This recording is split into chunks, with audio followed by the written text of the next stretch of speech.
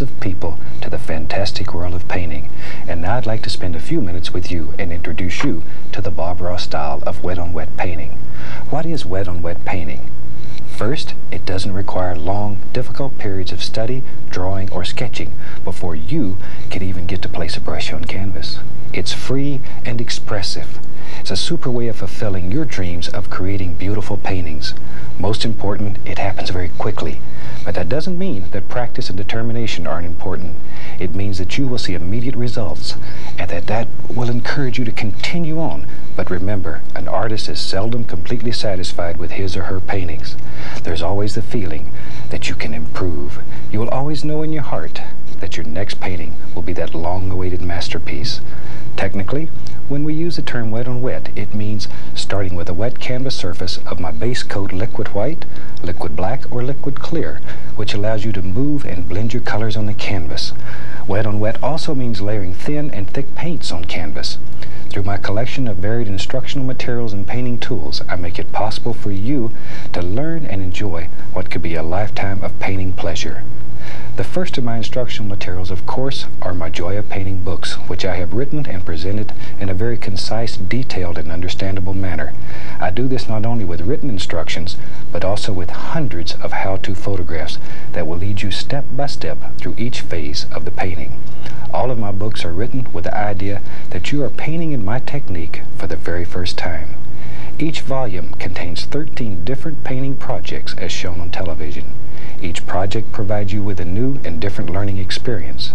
Notice how each project instruction is set up separately with a list of materials for that project identified at the beginning and with step-by-step -step written instructions and photographs following.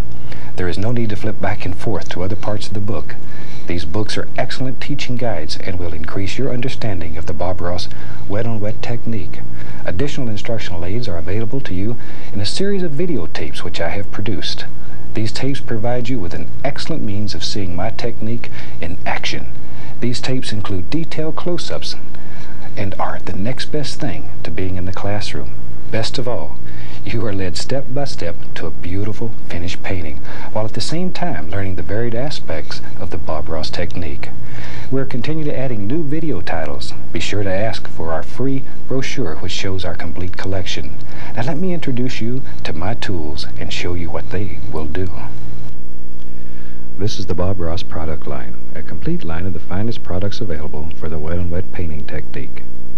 I've had the pleasure of either personally designing and developing these products or working with the engineers and chemists who manufacture the materials to my specification. Years of experience and working with students went into the design of each piece of equipment, and I sincerely believe that these materials will allow you to achieve the best possible results from your painting efforts. Now let's show you some of the different pieces of equipment, and I'll demonstrate how they are used to create unique and beautiful effects. First of all, the 1 and 2 inch brushes. Both of these brushes are made with the finest Chinese boar and ox bristles. Although they resemble everyday house painting brushes, they are high-quality artist brushes designed for the wet-on-wet painting technique. You will find that having two of each of these brushes will save you a tremendous amount of paint as well as a great deal of brush cleaning time. Use one brush for your dark colors and one for light colors. The 2-inch brush is used to apply liquid white, liquid black, or liquid clear. A thin, even coat is all that is necessary. Once your base coat is applied, use long horizontal and vertical strokes to assure an even distribution of liquid white, black, or clear over the entire canvas. The 2-inch brush is also used to paint the sky areas of your painting. Load the brush with a small amount of sky color, then use crisscross strokes, working from the top downward, to paint the sky. The sky colors will mix with the liquid white on the canvas, and automatically your sky will get lighter and lighter toward the horizon. Allowing the sky color to become lighter toward the horizon will help create the illusion of depth or distance in your painting. Both the 1 and 2 inch brushes are excellent for making large, fluffy cloud shapes. Normally, cloud shapes are made and blended using very small circular patterns. When blending individual clouds, use the top corner of the 2-inch brush to blend the base of each cloud. Then lift upward. And then use long, horizontal strokes to complete the clouds. Load the 1 or 2 inch brush to a very sharp chisel edge by pulling it through the paint in one direction. Wiggle the brush as you pull it through the paint to draw the paint to the end of the bristles. This sharpens the brush. A large amount of paint is required to stick the bristles together to form the chisel edge. The indication of distant trees can be made very simply with either the 1 or 2 inch brush loaded to a sharp chisel edge. Use downward strokes to create this effect. You may use just the corner of the brush held horizontally or turn the brush vertically to create numerous shapes in distant foothills. As many layers of tree indications as desired may be created. Leaving a misty area between each layer and allowing each layer to get darker in color will increase the depth in your painting. Beautiful, realistic evergreen trees may also be painted with a 1 or 2 inch brush loaded to a chisel edge. Tap the brush, held vertically, to the canvas to create a center line. Then use just the corner of the brush to paint individual limbs and branches. Force the bristles to bend downward, applying more and more pressure as you work your way down the tree. Highlights are applied in the same manner using a lighter color. Leaf trees and bushes can also be made with both the 1 and 2 inch brushes. Pull the brush firmly through the paint in one direction, loading the bristles full of color. By pulling the bristles through the paint in one direction, a curve will be created on one corner of the brush. Turn this rounded corner of the brush upward and push in your basic tree and bush shapes. Do not allow the brush to slide. Touch the canvas and push slightly upward to give your foliage a leafy appearance. Turn the brush to create individual branches. This step is normally accomplished using a dark base color so that lighter highlights will stand out. I like to use the 1-inch landscape brush to apply the highlights to individual bushes and trees. Load the 1-inch brush the same way, rounding one corner. The most common mistake made is not loading enough paint. Then you must strike the canvas hard to get the paint to come off the brush. A properly loaded brush requires only a gentle touch to the canvas to paint the highlights. Touch the canvas with a rounded corner up and gently push upward to create the illusion of leaves. Turn the brush slightly as you paint to give shape and form to your foliage. Think about limbs that not only project to the sides, but also project toward you to create shape in your tree or bush.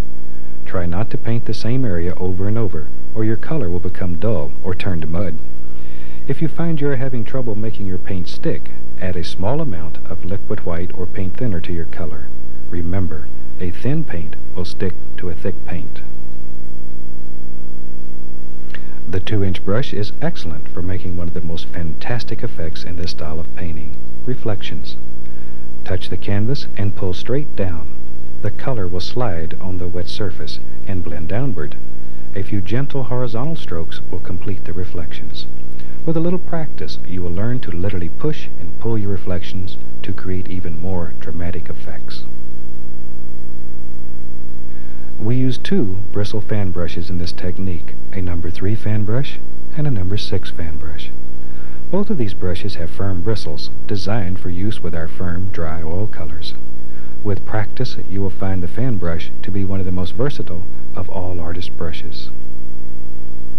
The fan brush can be used to create beautiful, fluffy clouds that just float around the sky all day and have fun.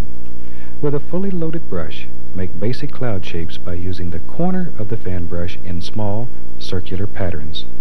Try to keep the brush moving and avoid overworking an area. Work to create individual shapes in your clouds. The large brush is then used to blend the base of each cloud. Lift upward. Then blend the entire sky with long horizontal strokes. Tree trunks can be made in a single stroke with the edge of your fan brush. Load one side of the brush with dark color and the other side with a light color. Touch the canvas and pull downward, increasing the pressure as you go. By double loading the brush, you can paint both sides of the trunk at once. This is also an excellent way of laying in a large tree trunk, then highlighting with a knife. The indication of distant trees is made with a fully loaded fan brush held vertically. Tap firmly downward to create beautiful tree shapes or foothills. Be careful not to leave too much distance between individual tree tops, or your trees can end up looking like fence posts. Another fantastic effect that can be made with a fan brush is evergreen trees. This is an excellent method for painting delicate, detailed evergreen trees. Hold the brush vertically and touch the canvas to make a center line. Then use just the corner of the brush, held horizontally, to paint individual branches. Force the bristles to bend downward, applying more and more pressure as you work down the tree. Highlights are applied to the tree in the same manner. The fan brush is an excellent tool for making happy little waterfalls and bubbling streams. Normally, the paint is thinned with a small amount of liquid white. You can then paint over the top of thicker paints without the colors blending together. Pay close attention to angles and allow your water to flow naturally. The fan brush is also used throughout seascape paintings. Such effects as waves, foam, and splashing water are only a few of the creations you can make with this fan brush. You may also use the fan brush to paint rocks, roads, mountains, soft grassy areas, and to create many other fantastic and beautiful effects, too numerous to discuss in this short tape. Devote some time to practice with this brush, and the rewards will be well worth the time you spend. The 1-inch round brush is made with the same fine natural bristles as the 1 and 2 inch brushes. This unique brush is very popular and can be used to create entire paintings. The 1-inch round brush is especially good for painting distant tree and bush shapes. Load the brush by tapping it into a small amount of color. Once the brush is loaded, tap downward to create individual tree and bush shapes. I normally start at the base of the foliage and work upward, so the darker shadow colors remain on the bottom of the shapes. Highlights may then be added in the same manner, tapping downward with the top corner of the brush. Large, more detailed trees and bushes may also be painted with this fantastic brush. Start by loading a dark base color and tapping in the basic tree and bush shapes. Form and shape are much more important for foliage that is in the foreground of your painting. Once you are satisfied with the basic shapes, highlights may be added. Highlights are applied with a slightly thinner paint, tapping downward, striking the canvas gently with the top bristles only. If you have trouble making the paint stick, Thin your highlight colors with a small amount of liquid white or paint thinner. Work in layers, completing the most distant tree and bushes first. To give depth to your foliage, leave dark areas between each clump of highlights. With a little practice, you'll be amazed at what you can paint with a round brush. The number 6 filbert brush is a very high-quality artist brush designed to be used with a wet-on-wet -wet painting technique. I use the filbert brush mainly in seascapes. It is especially adapted to making beautiful foam when crashing waves, foam patterns in the surf, and numerous other water effects. This brush is also excellent for making clouds, trees, rocks, stones, and a multitude of other effects. The number 2 script liner brush is the smallest of all of our brushes. This brush has very long bristles, giving it the ability to hold large volumes of paint. The liner brush, when loaded, comes to a very sharp point and is used to paint fine details. Normally, we thin the paint to an ink-like consistency with paint thinner when using the liner brush. Individual tree limbs, sticks, and twigs may be painted with a thin paint. If you have trouble making the paint flow on the canvas, chances are the paint is not thin enough. Add more paint thinner and see if that won't cure the problem. The script liner brush is also used for the most important part of the painting, your signature. I also suggest you put the year the painting was completed with your signature, and years later you can look back and remember when you painted this masterpiece. The complete line of Bob Ross oil paints have been specifically designed to my specifications for the wet-on-wet -wet painting technique. These paints are very dry and firm in comparison to traditional oil paints, with the exception of highlight colors, which are manufactured to a thinner consistency for easier application. This unique consistency allows us to paint layers of paint over one another without becoming a mud mixer. You will find these paints made from the highest quality pigments, They are very smooth, and you'll love the beautiful color tones. All of my colors are produced by the Martin F. Weber Company, who have been manufacturing fine artist paints for over 100 years. Liquid white, liquid black, and liquid clear are all slow-drying base coat mediums designed to make the canvas wet and slick, yet tacky. These specially formulated oil mediums allow us to mix and blend color right on the canvas, rather than spending a great deal of time mixing color on the palette. The slick surface allows us to literally move paint on the canvas and to create effects almost effortlessly that normally would be quite difficult. These three mediums are also used to thin other colors for application over thicker paints. For example, painting highlights on trees and bushes. Liquid white is the most used of the three mediums. Liquid black is excellent when there are large dark areas in your painting, or you wish to create a mood, or to transform a daylight scene into night. Liquid clear is used in areas where color should remain true or transparent, such as seascapes. These mediums may also be mixed together to create new and different effects. Use the 2-inch brush to apply the liquid mediums to your canvas.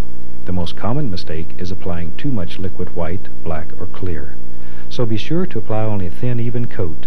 Do not allow the base coat to dry before you begin painting.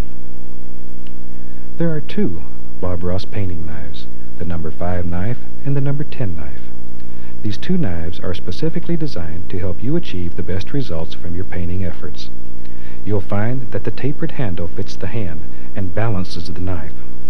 I designed the blades with straight edges to make loading and using the knives easier and more effective. The smooth, flexible blades will also prove to be an asset when you are painting with either of these two knives. The snow white handles and the rust-free chrome-type finish on the blades truly makes this a handsome piece of equipment that will enhance your painting abilities. The knife is not only used to mix paints, but is also a fantastic painting tool. Load the knife by pulling the paint out flat on the palette, then cut across the paint to load a small roll of paint on the very edge of the blade. It is most important to load the knife properly. Once the knife is loaded correctly, you can create numerous fantastic effects, such as laying in the initial mountain shapes. Use very little paint on the knife and apply with a firm pressure. You are only concerned with the top edge of your mountain at this time. Firmly scrape off all excess paint using the knife. Then blend downward with a large brush. This helps create the illusion of mist at the base of the mountain and removes excess paint. With a small roll of paint, using no pressure, apply highlights and shadows to the mountain. Allow the paint to break as you move down the side of the mountain. Angles are very important and care should be taken to assure your mountains look right.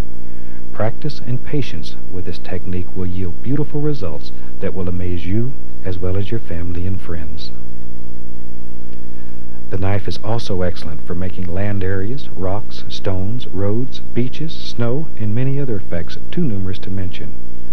With practice, entire pictures can be painted using only the knife. Loading the knife properly and a gentle touch will pay great dividends, so devote some time to making friends with this fantastic tool. Buildings, such as cabins and barns, are especially fun to paint with a knife. Old, Weathered wood can be painted using the same techniques we use to paint snow on the mountains. One of the easiest, most effective ways I've found to paint a cabin is to start by scraping out a general shape with a knife. This allows you to lay out the cabin shape and removes excess paint from the canvas. Next, use the knife to fill in your basic cabin shape with color, paying close attention to angles. Should you decide you want a log cabin, start with a small roll of lighter color on the knife and pull slightly to the side to paint vertical logs on the top part of the cabin. Redefine your dark color on the base of the cabin, then use the knife to paint the indication of horizontal logs on the front and side. Doors, windows, and small details are added as desired. Use the small knife for delicate detail subjects or just to get into small areas. You will find that both knives can create some of the most fantastic effects imaginable. Beautiful evergreen trees can be painted with a knife. Unlike brush-painted trees, evergreens painted with a knife will have texture and form when dry. Once mastered, you will find these unique trees to be a favorite among those who view your paintings. Start with a small amount of dark color the very point of the knife and just touch the canvas, moving the tip of the blade from side to side. Reload the knife frequently with larger amounts of paint as you work down the tree.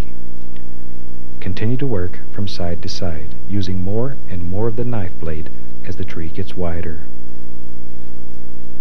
Highlights and shadows are added with the long edge of the knife. Load a small roll of paint on the blade and gently pull to the side. The color will stick to the high points on your trees, leaving the dark center areas intact.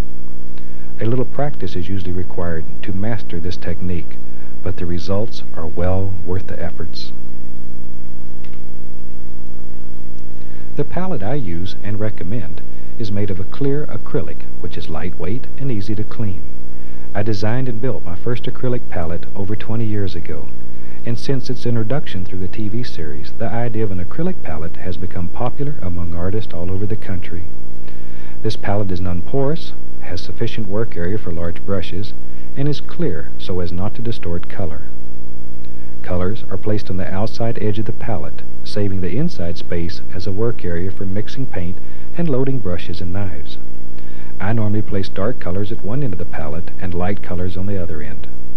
Try to always load your palette with the colors in the same location so you don't have to waste a lot of time trying to figure out where a color is located. A double primed, pre-stretched canvas is recommended for this technique. Avoid canvas boards as they will absorb the liquid white and leave you with a dry surface. The type of canvas used is an individual choice. I like a fairly smooth canvas, but some painters prefer a canvas with more tooth. For scenes that require black canvas, prime a white canvas with black gesso. The specially designed acrylic primer is made to prepare surfaces for our style of painting. Allow the black gesso to dry completely before applying your transparent base colors.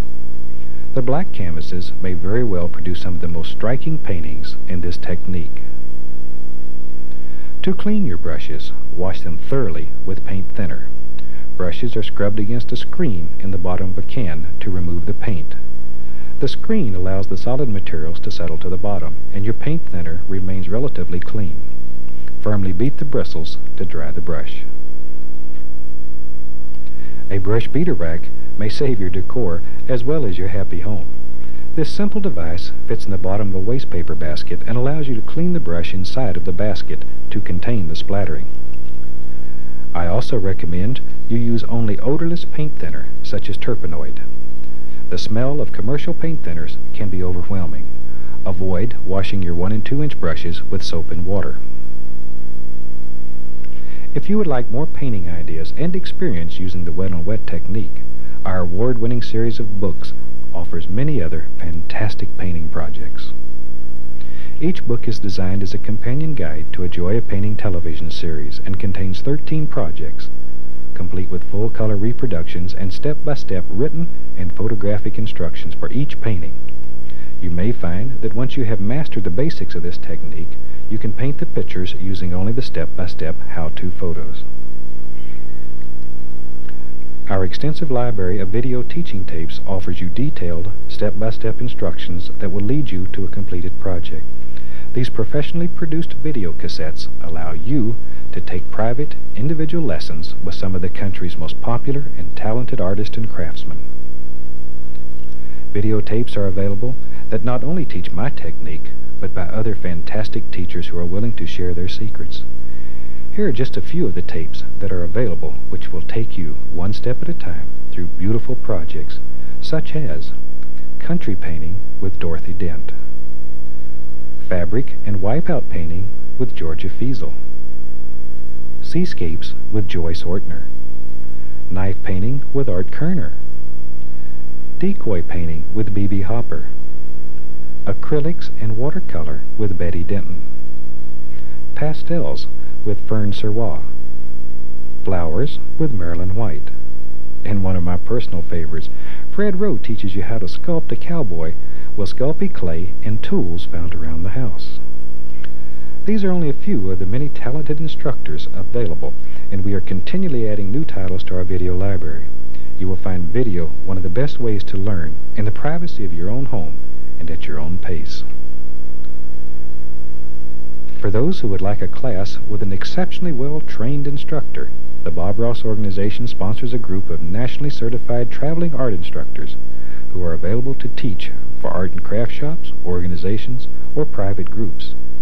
Each of these instructors has been hand-picked and trained and are fully guaranteed by our company. Classes are designed so that students receive both group and individual instructions, and each person completes a full-size oil painting from start to finish each day. Students range from absolute beginners to experienced painters, and by the end of the day, everyone is amazed and pleased at what they have accomplished.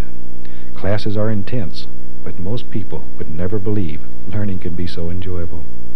And the most rewarding part of all is when you show your completed painting to your family and friends, who will not believe their own eyes.